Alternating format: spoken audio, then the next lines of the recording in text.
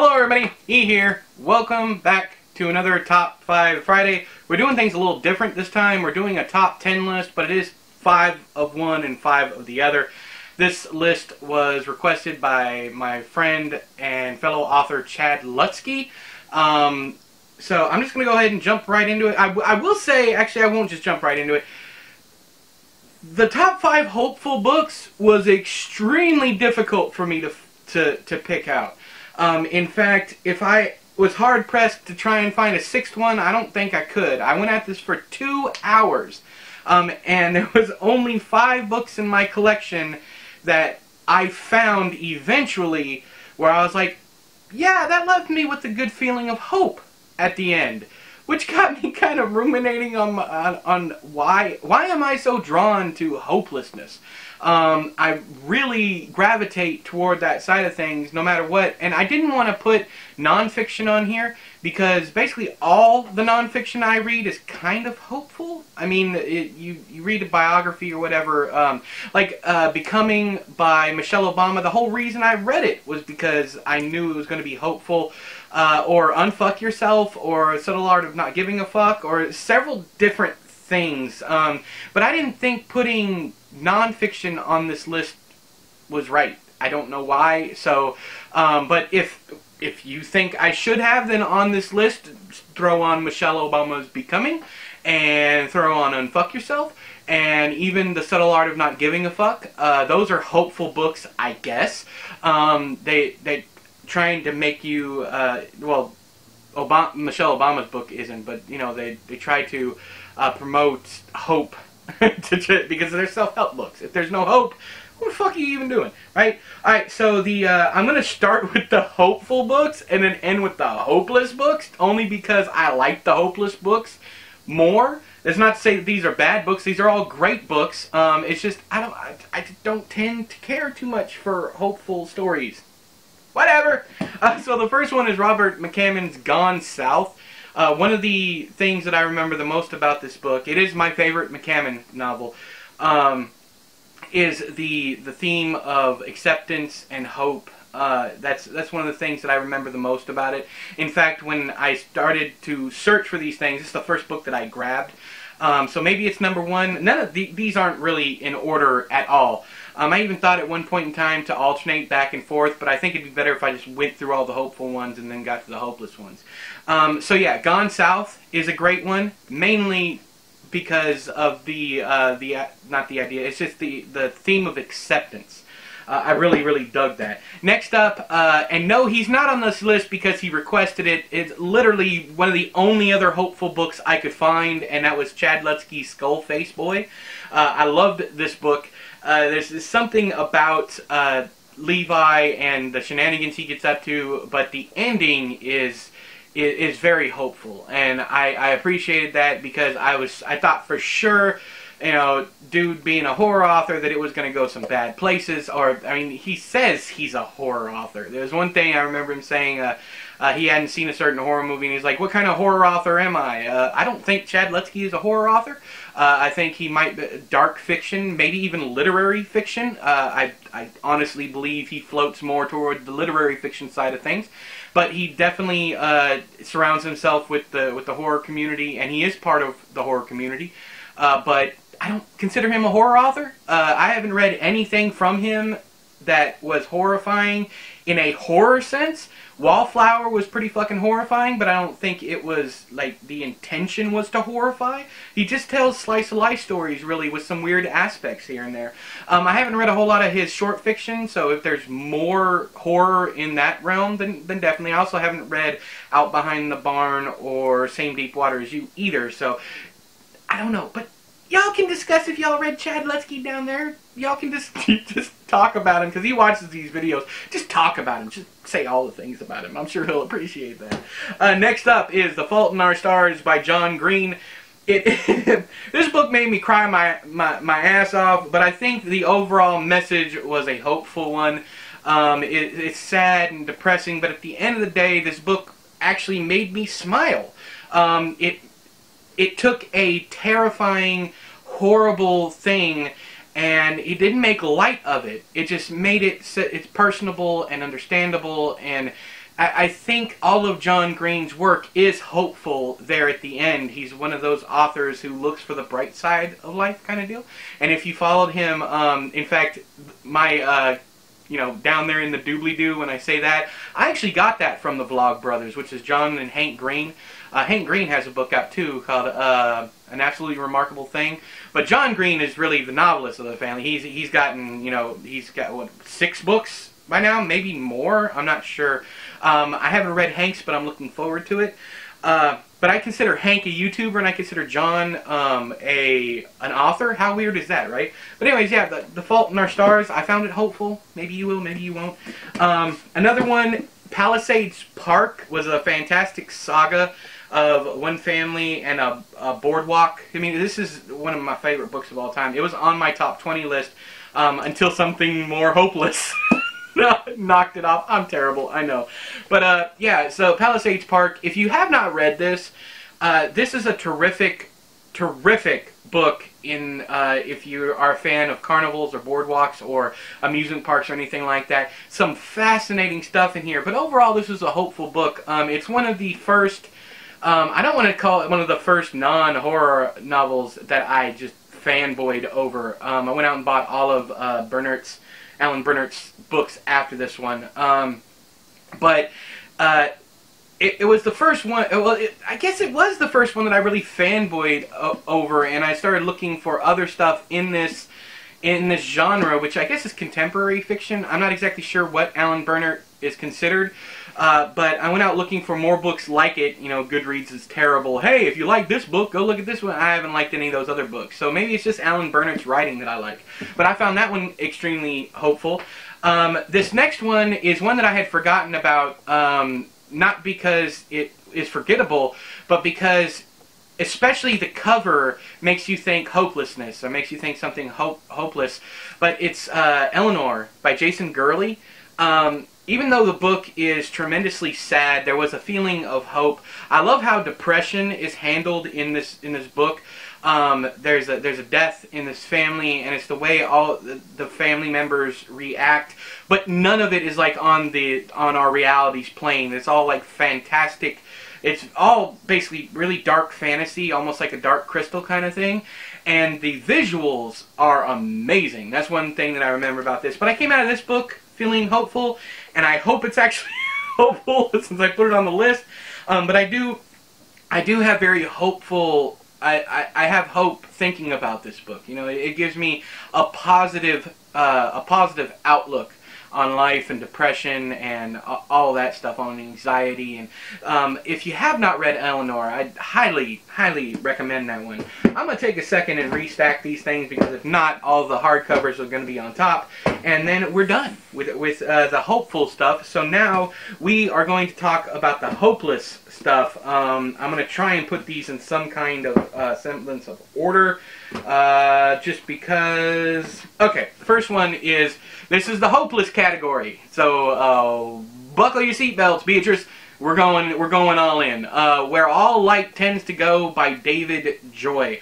I thought this one was going to a completely different place than it did. Uh, when it ended, I was left speechless, and I felt terrible for for like a week. Uh, the main character I really came to know and enjoy reading about, and his books are extremely short. I think they're all all of his books are about 250 pages long. In fact, going into I had to take a lot of time in between this one and his second novel, The Weight of This World, because I wasn't prepared for the soul crushing. Uh, feeling that he is it's hilarious that his name's David Joy. his books just crush you.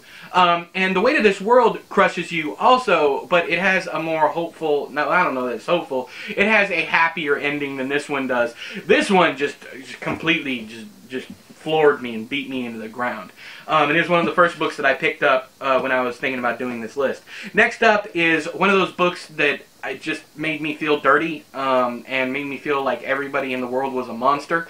Um, it, I don't know why it, it left me like that, but it's in the miso soup by Ryu Murakami. Um, there's certain aspects of this book that I remember reading, and I still to this day I feel disgusted for having read it and enjoyed it. Um, it, but there's a there's something to be said about jo- enjoying hopelessness because you know that once you close the book, you can go back to your life. It's over and done with. It's kind of like getting on and off a roller coaster. You know, you know it's going to be terrifying. You know it's going to be, but also you pretty much guaranteed you're going to get off of that ride um, in, intact. At least that's the promise when you get on it. I know there's been terrible accidents, but that's not what I'm talking about. You know, you know this. Um, this book left me utterly distraught. Uh, I. I still to this day, every time I picture, uh, every time I see this book, I, I actually keep it out of sight behind some other books um, every time I see this book, I think of one certain scene that really, really bothered me. Um, and it, I got to thinking about certain things after I finished it. I went and looked up certain things that I probably shouldn't have, ended up on the wrong side of the internet. It was all fucked up. So this book gives me a sense of hopelessness. Uh, next, I, I'm sure up until now you might agree or disagree with all these things, but I'm pretty sure that everyone will agree on this book. Um, because everyone I talk to bring up the the the idea of the feeling of hopelessness while you're reading it. And that's Blood Meridian uh, by Cormac McCarthy, or what's it called, or The Evening Redness in the West. Um, I like Blood Meridian. I'm glad they pretty much call it Blood Meridian. I like that title better. Uh, this book just that. there's characters in here that made my flesh crawl, but it's just the the overall nature of the book while you're reading you know nothing is going to end well. You know when you read Cormac McCarthy, you know you were in for a gut punch, and this is one of his best as far as that's concerned.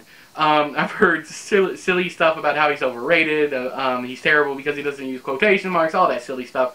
But th there's a there's a definite sense of hopelessness when you read Cormac McCarthy, and it's it's just a sense of nihilism. It's like he knows nothing matters. He knows that none of this matters and that most of us have terrible aspects of our personality. Things that we keep hidden, dark, dirty secrets in that regard. Another author that does that really, really well, or that normalizes terrible shit, is Herman Koch. I just want to throw this out there real quick. If you like Cormac McCarthy, uh, you might like uh, Herman Koch, but only because they look at the reality of humanity. Um, there is hope, there is kindness, there is all that stuff, but we are we are the nasty details. That's what we focus on. You know, just like with the news, if it bleeds, it leads. That kind of deal. Um, news organizations know what's going to bring people in, and that's the terrible shit in the world. And that's what you know what Cormac McCarthy uh, really focuses in on. Uh, next up, we have Song of Kali, by, or Kali, I'm not sure how you pronounce it, by uh, Dan Simmons. This is one of those books, again, that I feel bad every time I, I think about it. The ending here has the ending of this book is a bigger punch in the gut than the middle of Pet Cemetery. If you have read Pet Cemetery, I mean, Pet Sematary, you are at least warned what is coming. King uh, does foreshadowing all throughout the beginning of the book, warning you what's going to happen. Dan Simmons gave no fucks whatsoever. He's just like, okay, well, I'm just going to take this sledgehammer and I'm going to crush your internal organs with it all at one time. I could not believe that that he did what he did in this book. Um, it's it's one of those times where I was left speechless and I was left feeling terrible and hopeless. Uh, if uh, that, that's the theme here, of course. But yeah, uh, Song of Kali. I don't hear too much about this one. It has a really terrifying scene with uh, uh, in the dark kind of deal, and I love scenes in the dark. There's like flashes of of light, and the character sees something in those flashes of light, and that whole scene is terrifying. If anybody ever made a movie out of this, I, I hope that scene, if no other scene, is intact. So yeah, Song of Kali. Now, with the number one most hopeless book of all time, um, even the author considers it a hopeless book, just an ugly, nasty book. That's Revival by Stephen King. I am shocked when I hear a Stephen King fan say they didn't like this book. Um, I get, uh, there was, I, I actually lost a lot of followers back when I reviewed this book, and I called this his best book in forever uh, at, at, that time. You know, he hadn't written the the Outsider, um, the you know uh, we were still I think we had just gotten uh, Mr. Mercedes or Mr. Mercedes was coming I can't remember but before that I mean we had Doctor Sleep which was and we had 11/22/63 which is and yeah I think it's and uh, Under the Dome which was great until the end uh, it had a pretty nasty run from for me anyways my opinion and this one came out of nowhere and people because of those other books I was talking about you know like Doctor Sleep people were standoffish and when I gave it such high rating, a lot of people went out and bought it, and then they didn't like it. I don't. I don't know why. These were Stephen King fans. I don't know why because it was quintessential King. Um, it is a terrific story of one man's life, um, and the theme that life is so fleeting was amazingly well done. Uh, I think the hardcover is like 400 pages. I'm not sure. It's hang on. I always talk about this how short it is, but someone said it's not really all that short. So let me look at the hardcover edition. Hardcover is only 402 pages. You know how many books in Stephen King's library that are 400 pages? Leave it down the do.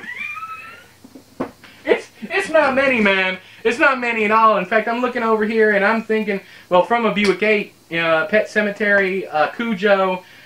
Most of these books, man, most of his books are over 400 pages. It's 402 pages in hardback. The, this paperback, it's the long, slender ones. Sarah, if you're watching this, uh, this is one of those long ones, like the Vince Flynn stuff I sent you. Um, but this one is almost 500 pages um, because the the because it's so thin. I guess say. But uh, talking about hopelessness, revival left me, and it's supposed to leave you with a feeling of hopelessness. That is the entire theme is that nothing matters. It's a very nihilistic book, even though that there is sense there is uh, supernatural aspects and all that stuff. It is a very very nasty book when it comes to the hope. When it comes to the truth. I mean, if if you're, uh, I don't. I guess I consider myself an atheist. I don't believe in it. I believe that when we die, we just die. Um, but to think that there might be something like at the end of this book that's that that's terrifying um, to me, anyways. To think that there's anything, even if the heaven and hell were real, even if heaven were real and I was a diehard Christian and I thought I was going to heaven, that is a scary ass concept that we're going to be alive forever. Think about that.